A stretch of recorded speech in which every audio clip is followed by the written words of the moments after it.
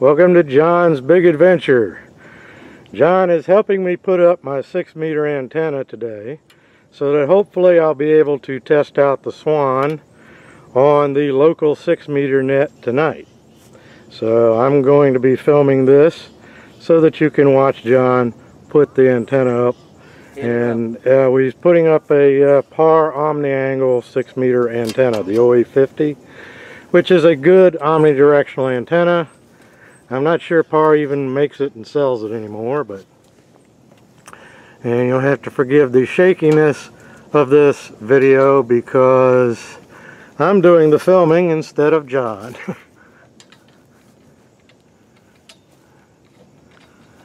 uh, I'm letting John do this because he's a little better with heights than I am. At least as far as being steady on the ladder. And uh, hopefully this won't uh, end up on America's Dumbest Videos. I hope not.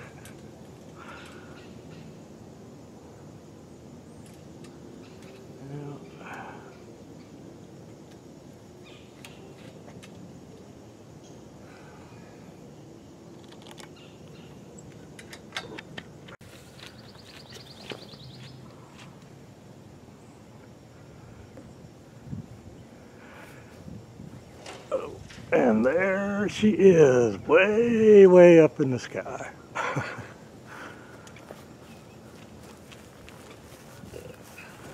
Let's see if I can get far enough back here so I can get a good shot. And I hope I'm getting a decent shot of this because I got the sun right in my eyes so I can't see anything on the screen here. But anyway, that's what it looks like. Here, come over this side. Right here, you can shoot the whole thing. You won't be, be glared out. I would say right here, that way you've got a sky background and you can see what you need to see. What you think? Oh, yeah, okay. okay, well, here it is. Hopefully you can see this well enough.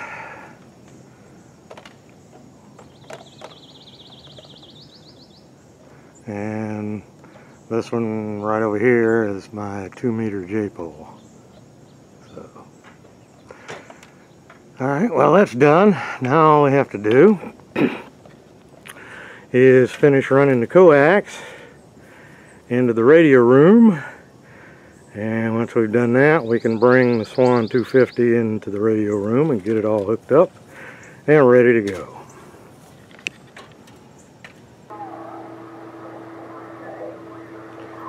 Well, greetings and welcome to my modest little radio shack.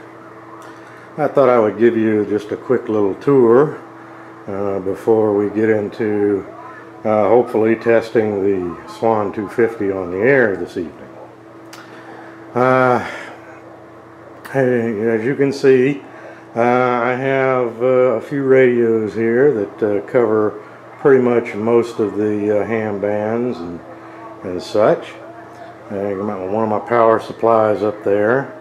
Uh, next to that, you can probably see my um, little 2 meter handheld. That's an Alinco DJ G1T that's the very first ham radio that I ever bought when I first got my license back about 1994.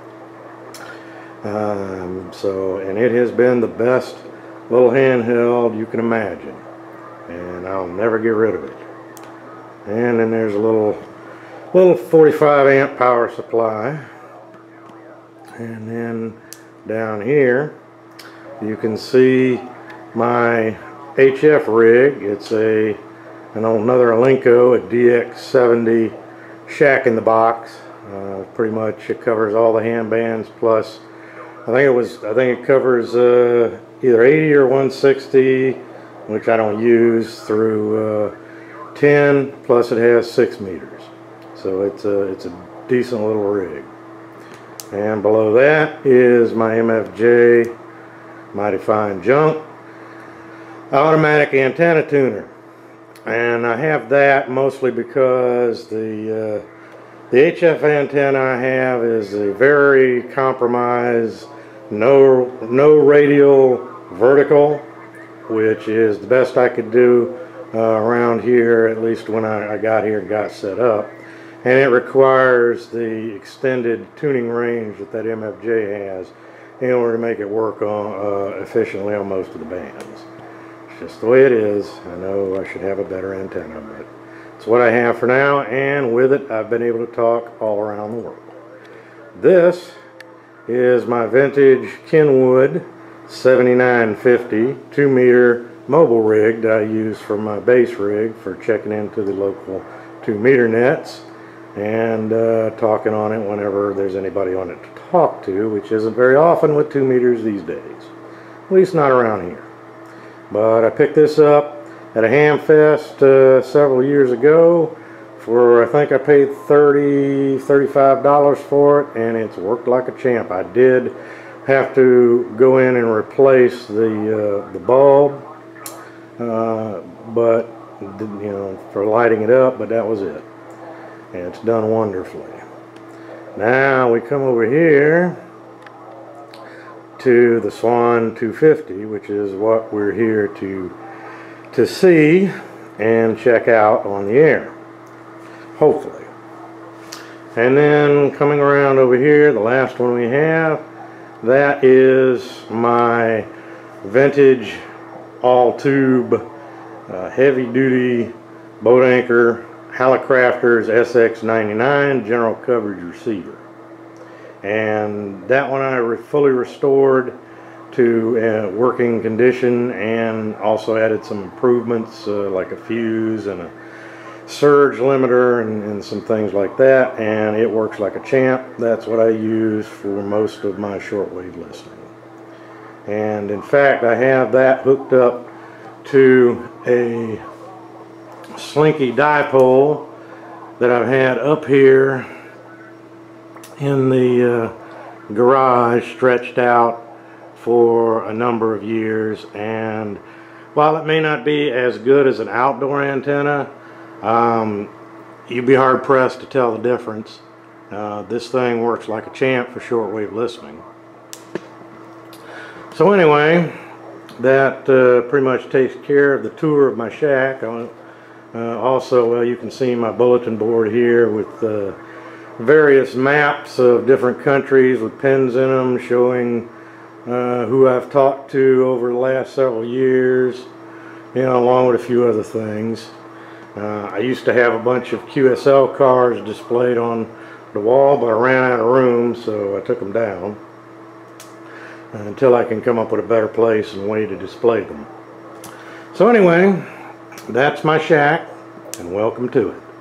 The next uh, time that uh, you'll see me here is going to be in about an hour when the, the Sandlapper 6 meter net starts up.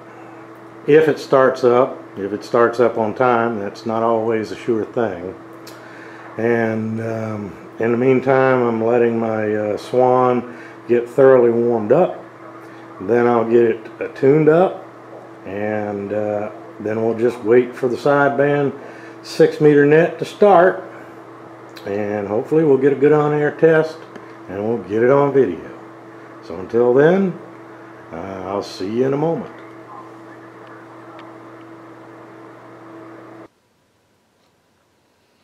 Okay, welcome back to the Swan Restoration Project. Been a little while uh, since I updated this and so I'll bring you up to date.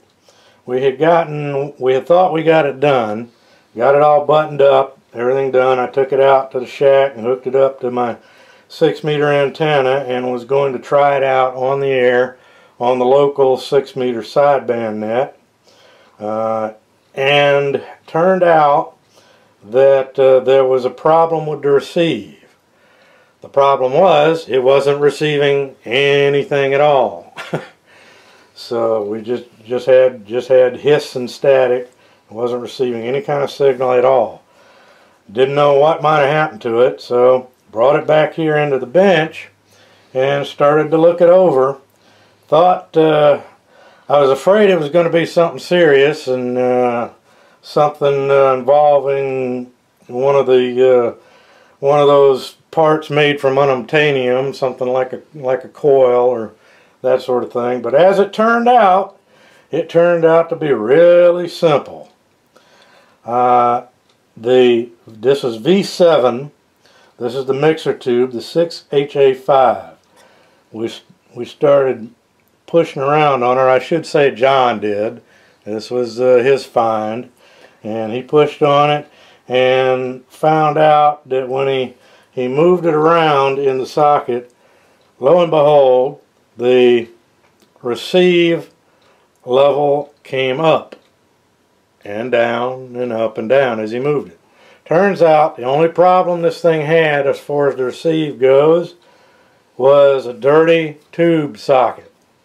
So we pulled the tubes, all the tubes, we cleaned the pins on, on, the, on all the tube sockets, put everything back together. I went out to the ham shack, got on my Alnico, and uh, and did a transmit on a test transmit on the Alnico.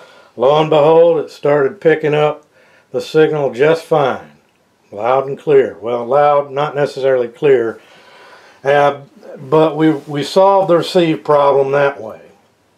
Um, so if you're having uh, you know a, a mysterious problem where you're not receiving a signal but you're getting hiss, that'd be the first thing I would check. Would be the tube sockets. Now, this still needs a good alignment of both the transmitter and the receiver.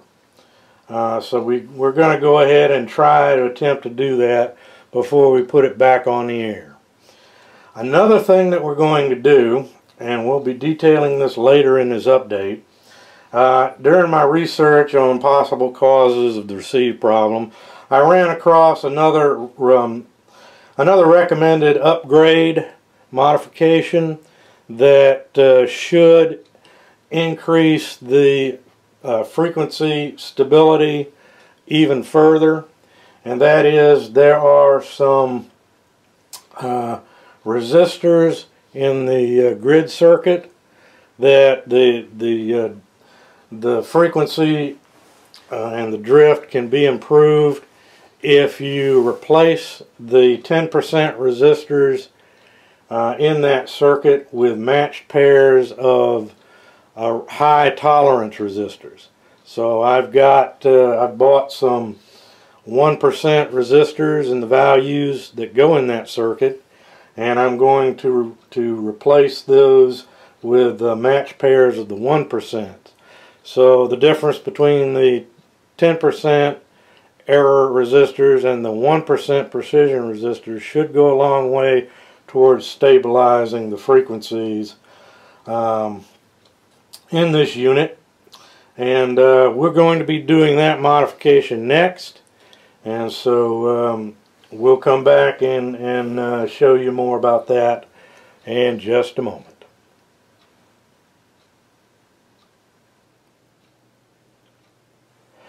Okay, we're back and we're just going to show you um, what modification that we're talking about for um, increasing the stability of this rig.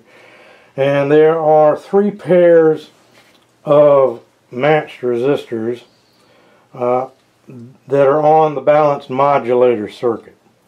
Um, and uh, those uh, resistors were there are four 47 k ohm resistors and two 100 k ohm resistors.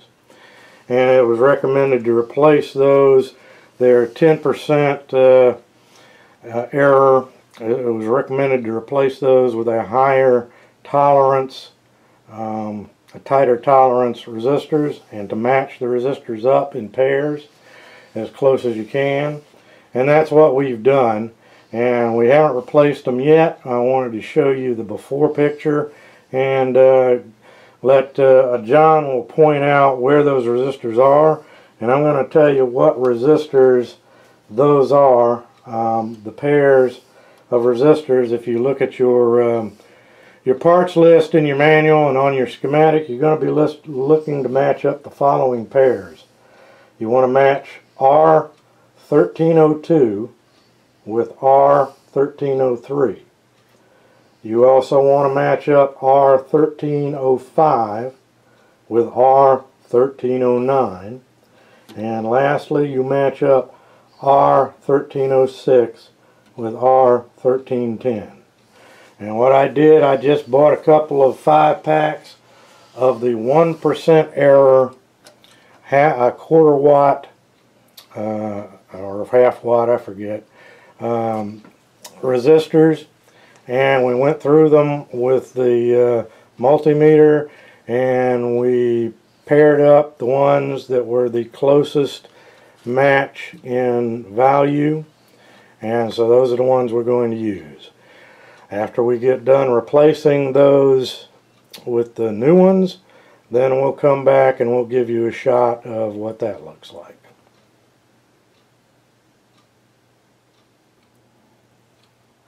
Okay, John the Master Solderer has finished his usual fine job of soldering and getting into them tight little places that my shaky hands can't get into. And we have replaced those six resistors or basically uh, you'd call them those uh, three resistor pairs. Uh, matched up as close as we could get them all the little blue ones you see those are the ones we were that are the replacements that's in the balanced modulator circuit and this is this is a modification that's supposed to help stabilize the uh, frequency and, and make it drift a lot less. Uh, all tube transceivers are known for drifting a certain amount, um, but uh, I believe that uh, the modifications we've done to this is going to go a long way toward stabilizing that that habit and making it a whole lot um, less drift. Now this is, um, at this point, this is all the upgrades and modifications that uh, I'm aware of to do to this. Our next step is going to be to do the receiver and transmitter alignments. Um, the, our only problem is that uh, the instructions call for the use of an oscilloscope, which uh, I neither have nor know how to use. And unfortunately, neither does John. So we're going to have to try to wing it with a multimeter, uh, voltometer, vacuum tube voltmeter uh, and um, an RF generator and what other whatever other um, instruments we can bring into use for this and do the best alignment that we're able to do with the equipment we have available. So um, once we get to work on that we'll come back and update you again.